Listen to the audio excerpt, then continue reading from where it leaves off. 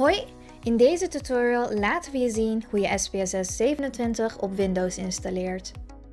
Wacht tot het installatiebestand gedownload is. Klik vervolgens op het bestand.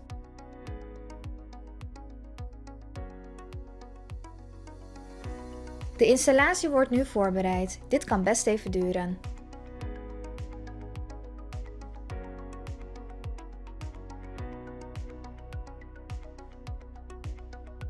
De installatie kan nu beginnen. Klik op Next.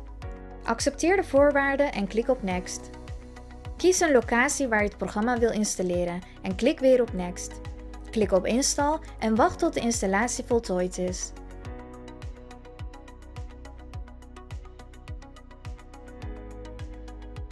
De installatie is nu voltooid. Klik op Finish.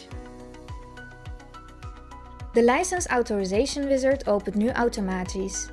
Kies voor de bovenste optie Authorized User License en klik op Next. Nu kun je jouw productcode invoeren. Deze vind je in je besteloverzicht van je SearchBot account.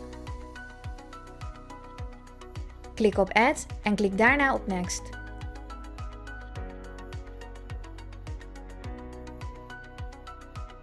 Nu zie je dat jouw code geaccepteerd is. Klik op Next. Hier zie je tot wanneer jouw code geldig is. Klik op Finish.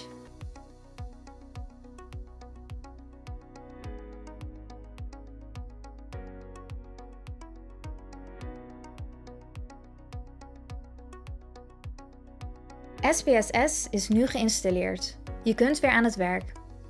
Mocht je nog vragen hebben, dan kun je contact opnemen met de klantenservice.